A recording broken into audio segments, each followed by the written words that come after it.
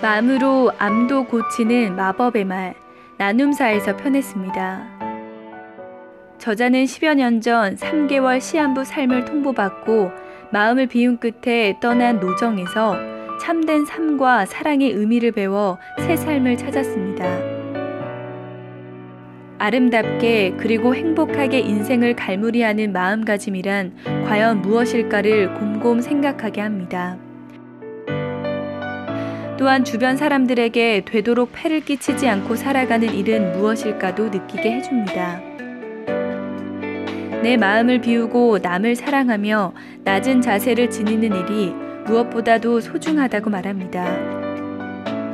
적극적으로 살아가는 이들에게 하나의 길잡이가 되어주며 수록된 그림은 힐링 여행 중에 그린 소묘들입니다.